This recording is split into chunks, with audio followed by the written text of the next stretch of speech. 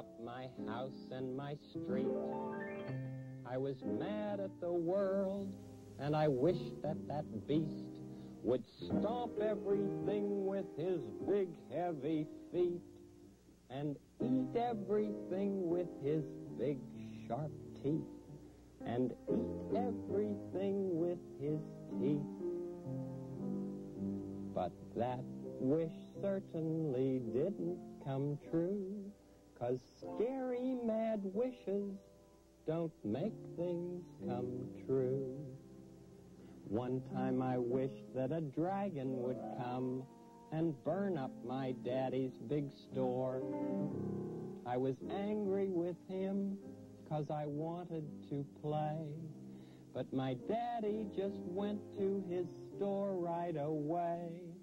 I wish that that dragon would burn, wished it would burn Daddy's